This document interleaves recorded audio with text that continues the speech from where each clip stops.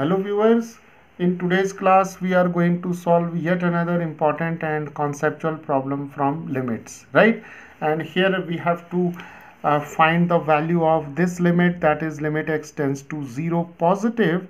This positive sign shows that we have to find the uh, right hand limit of this function uh, when x approaches to 0 uh, from the right of x is equal to 0 right? So here we have the point x is equal to 0 and we have to find the right hand limit of uh, this function when we approach towards x equal to 0 from the right of x equal to 0 right? And here uh, the function is x over 100 and greatest integer of uh, 200 over x right? So let us uh, uh, find out the value of this limit right? Okay so what we will do here uh, see uh, here we'll apply the definition of fractional part function right? See we know that the fractional part of x is defined as x minus greatest integer of x right?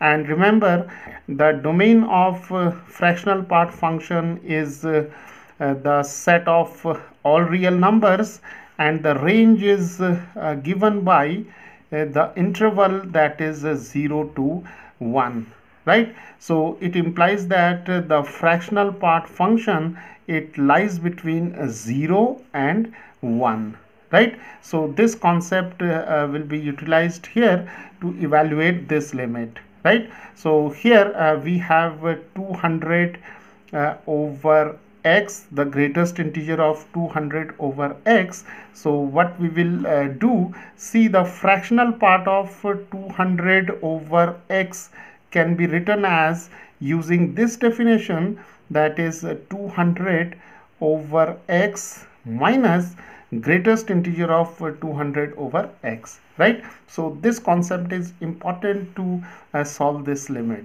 right? So see if we take this uh, this term to the uh, left hand side and this term to the right hand side.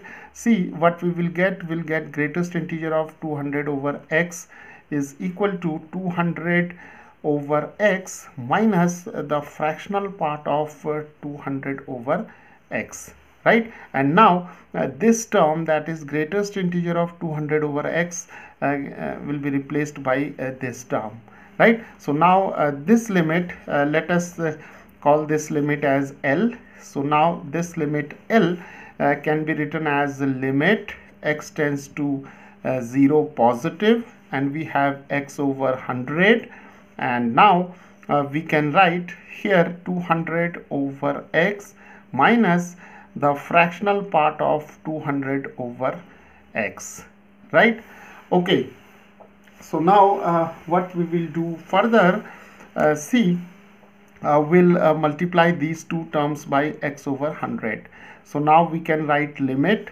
Here we have x tends to 0 plus and when we multiply uh, 200 over x by x over 100 then x and x will uh, get cancelled and 100 2s are 200 so we are now having 2 minus x over 100 and here we have the fractional part of 200 over x. Right?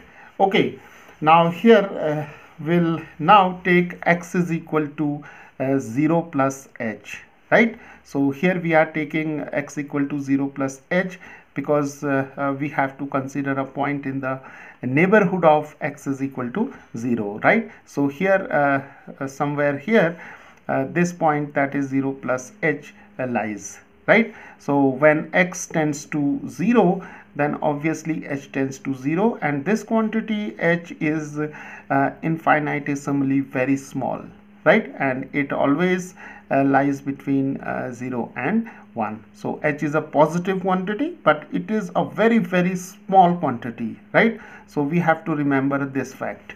So now see this limit l can be uh, now transformed into uh, in terms of h. So we can now write limit h tends to 0 and we have 2 minus. For x we can write 0 plus h over 100 then we have the greatest uh, the fractional part of uh, here we can write 200 over 0 plus h right? Okay so now we can uh, further write it as limit h tends to 0 here we have 2 minus h over 100 and here fractional part of 200 over h right? Okay so now uh, we have to uh, calculate the value of this limit uh, when h approaches to 0 right?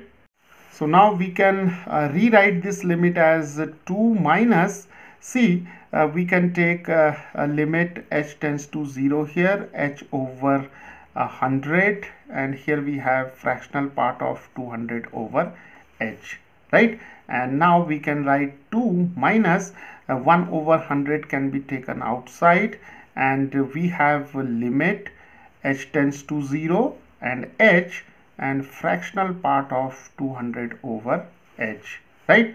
Now we can further write it as 1 over 100 limit h tends to 0 and we can write uh, this h as c here we can write 200 over h fractional part of 200 over h divided by this h can be taken to the denominator by taking uh, here a 1 over h right? So there is no harm in taking this h or writing this h as 1 over h right? So this is the important uh, step in this limit right?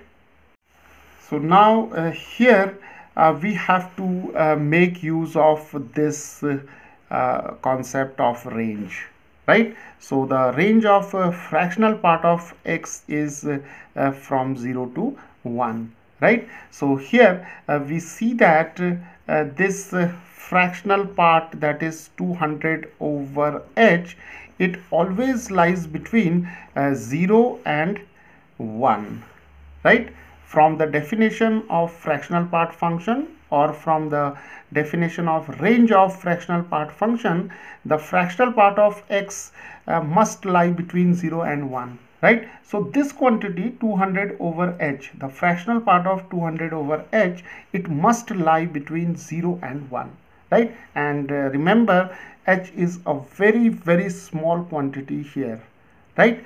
Okay so it means uh, we can take uh, this fractional part of 200 over h as uh, some quantity say k right? And k is some uh, real number uh, which lies between uh, 0 and 1 right?